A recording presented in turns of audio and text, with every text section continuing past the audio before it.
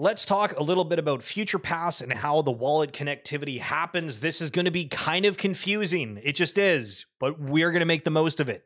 We have a, a root at the top here that you can see that is in this OXFF wallet. If you see this, that means it is a future pass address.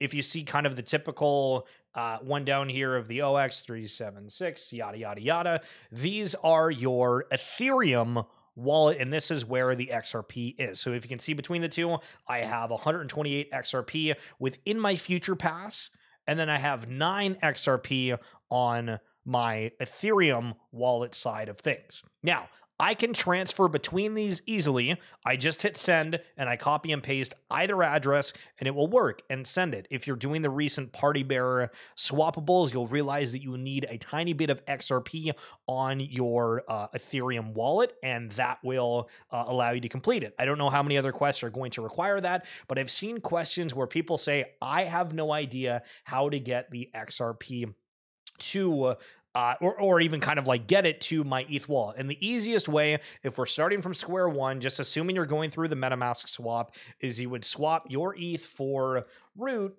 And then once that's done, you would come here and then you would click bridge and send your uh, root that is on Ethereum into the root network. Now, You'll notice that there's different logos above and beyond here, where this one is showing that this ASTO is on the Ethereum network, and then these two different uh, ASTOs are on the root network. But again, this is in the FuturePass. This is in the Ethereum wallet. So let's assume that you've done the transfer, you now have root on your account, but it's going to show that the root is in your Ethereum wallet. So what you'll need to do is go on the bottom, copy and paste your FuturePass address, the top one here, and then send that root over.